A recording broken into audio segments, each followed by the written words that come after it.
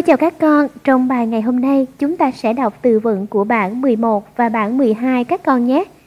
Từ số 1, giờ giải lao, break time, break time, break time.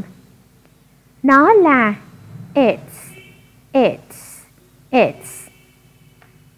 Phòng học, classroom, class, room, classroom.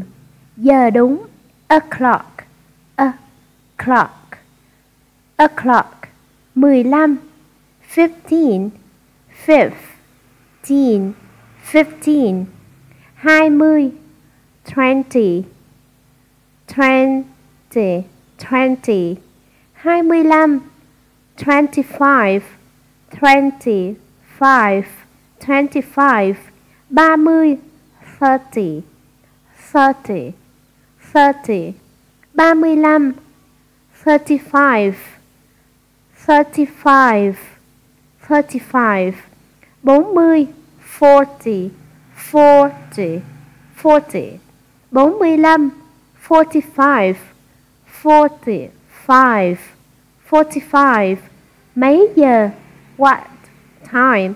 What time? What time? Chúng ta hãy đi. Let's go. Let's go. Let's go.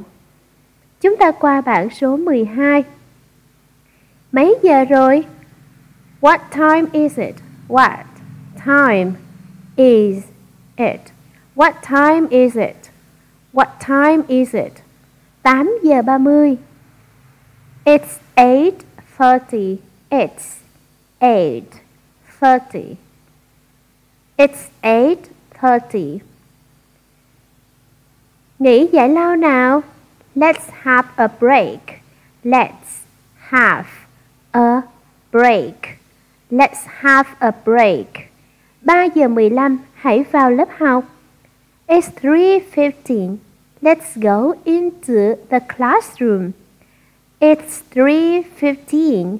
Let's go into the classroom. It's 3:15. Let's go into the classroom. 1 giờ 15. It's 1:15. It's 1:15. It's 1:15. 9 giờ. It's 9 o'clock. It's 9 o'clock. It's 9 o'clock. 3 giờ 30. It's 3:30. It's 3 3.30. It's 3.30. 10 giờ. It's ten o'clock.